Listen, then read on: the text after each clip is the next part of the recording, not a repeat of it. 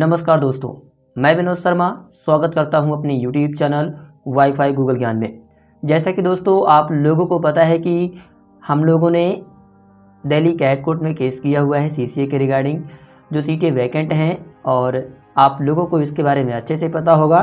तो आप लोगों का मेरे से एक ही क्वेश्चन रहता है कि उसकी हियरिंग कब होने वाली है। तो दोस्तों, आज की इस वीडियो में हम प्रॉपर आपको उसके बारे में अपडेट देने वाले हैं। तो आप लोग बस हमारे साथ इस वीडियो में एंड तक बने रहिएगा। आप लोगों को पूरी इन्फॉर्मेशन अच्छे तरीके से मिल जाएगी। वीडियो में आगे बढ़ने से पहले एक छोटा सा रिक्वेस्ट करूँगा कि जो लोग भी चैनल पर नए हैं चैनल को आप सब्सक्राइब करेंगे और इस वीडियो को ज़्यादा से ज़्यादा शेयर भी करेंगे। तो दोस्तों, मैं बिना किसी देरी के वीडियो को कंटिन्यू करता हूँ।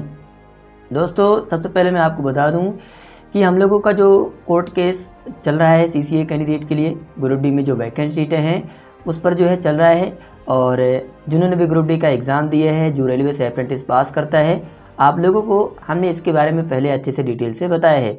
आप लोग हमारे चैनल पर वीडियो सेक्शन में जाएँगे तो वहाँ पर आपको सारी जो है डिटेल्स मिल जाएँगी, जो भी हमारी ओल्ड वीडियोज़ हैं।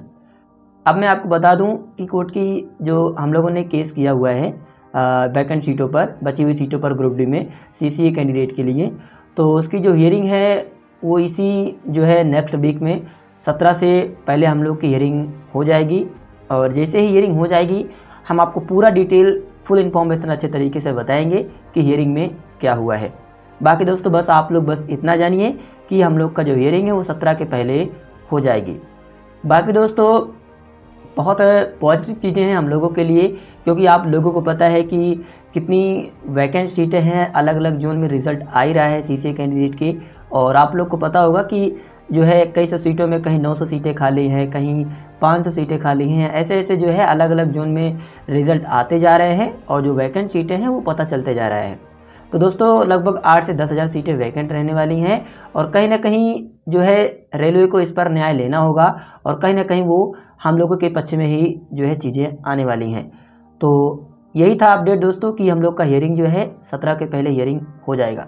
और काफ़ी अच्छी चीज़ें होने वाली हैं। हम लोग के कोर्ट केस में आप लोग जो है परेशान मत होइए और कहीं ना कहीं पॉजिटिव रिज़ल्ट जो है हम लोगों को मिलने वाला है। बाकी दोस्तों, इस वीडियो में इतना ही।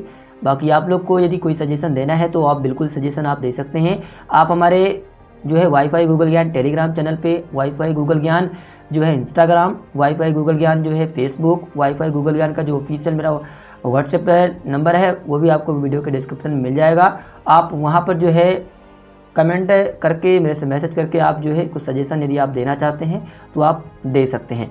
बाकी दोस्तों, मिलते हैं नेक्स्ट वीडियो में नए टॉपिक के साथ। तब तक के लिए जय हिंद।